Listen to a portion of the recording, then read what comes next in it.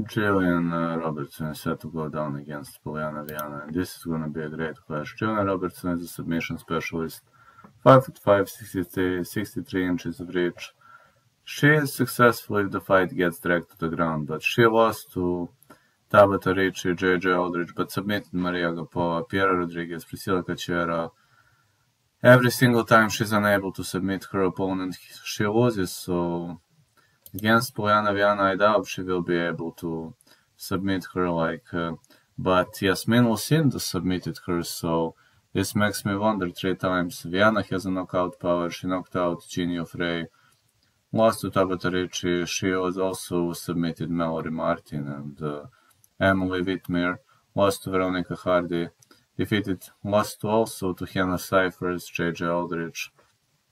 This fight is hard to call Gonna go with over 1.5, but judging by current shape, I would uh, go with Polyana Viana for the victory. Polyana Viana is more well-rounded, and I doubt she's gonna get submitted quickly.